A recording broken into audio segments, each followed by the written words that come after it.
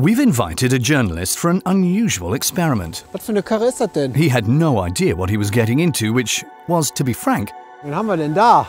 a car seat.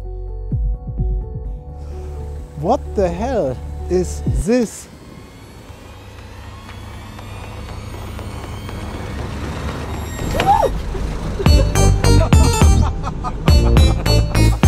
Dachte wirklich kurz, das wäre jetzt hier so eine Roboternummer.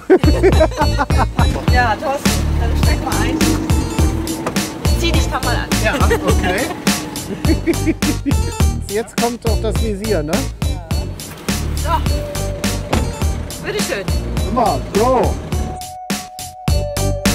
Okay.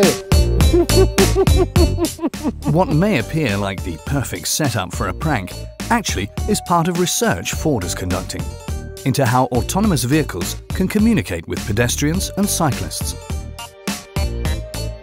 Experimenting with different colours and different signals, a light bar helps pedestrians to understand whether a car intends to stop and give way or to pull forward. The goal is to develop a universal communication everyone can easily understand. Die Leute am Anfang haben ein bisschen äh, stutzig geguckt und dann haben sich dann irgendwie einen Reim draus gemacht und sind dann auch im richtigen Moment gegangen. Ja, der Weg scheint schon der richtige zu sein. Also man muss irgendwie mit den Leuten kommunizieren. Erstmal sind die Leute hochgradig beeindruckt, weil man sowas einfach noch nicht kennt. Weil das einfach noch nicht zum Straßenbild gehört und weil man auch davon ausgeht, dass das eigentlich einfach noch nicht gibt.